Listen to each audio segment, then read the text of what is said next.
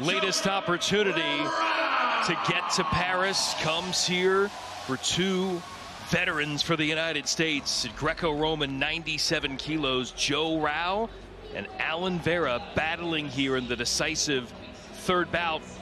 Joe Rau running out. So Joe Rau there, again, native of the Chicago area, 33 years of age, just like his opposite number, Alan Vera. And there's the man from Jersey City, New Jersey now, but originally from Cuba. While representing Cuba at the Pan Am qualifier for 2016, he defected, granted asylum here in the United States, eventually became a U.S. citizen, been a four-time national champ in the United States, two-time world team member, trying to break through at the Olympics. And Joe Rau, thinking of what could be for him, he was an Olympic trials champion in Rio but the weight never got qualified. So he didn't get to compete. And then he lost in the finals three years ago in Tokyo, trying to get the win this time and get through and get the chance to finally wrestle at an Olympic.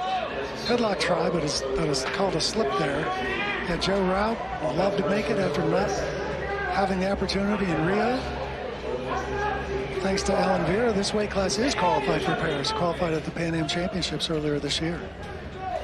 And Vera able to get things done in round one. But Rau got a win his first against Vera in their history in the second round to push this to a third. Vera, such a classic Greco-Roman wrestler, very upright style. Rau trying to dig in underhooks, trying to keep his weight underneath, control the mat position, use it to move Vera around.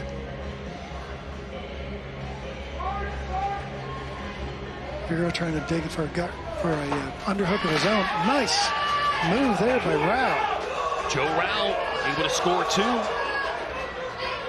Can he add more?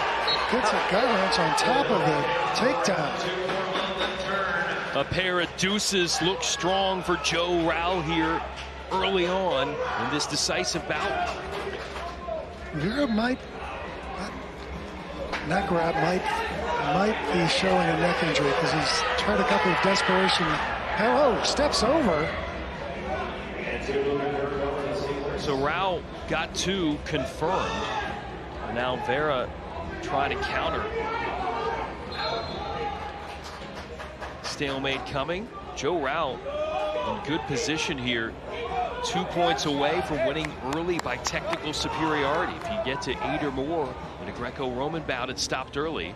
Let's see if there's some. Nice step over, but didn't result in any points yet. Yeah, looks like there's some blood time for Joe Rau, so they'll stop that up. Uh, nice little exposure there to the takedown sees that Vera's relaxed and just says, you know what, I'll go to the gut and get another two.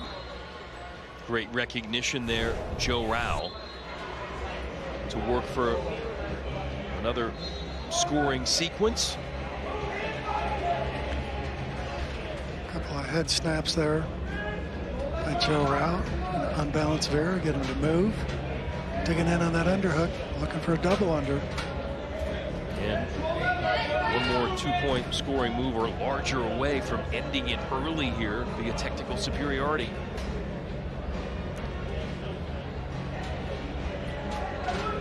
We would love to do that.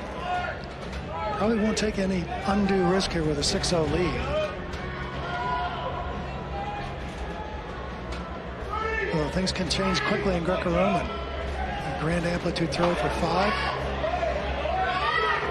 Oh, that's it. Joe Rau turning the corner and gets it done. And finally, for Joe Rau, an Olympic dream realized. Sign of respect between these two.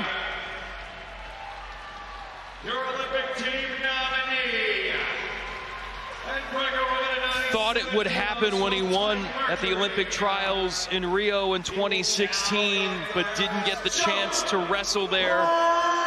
Still went to Rio and helped his teammates train. This time he gets to go there and wrestle with the weight qualified. The Rau clan celebrating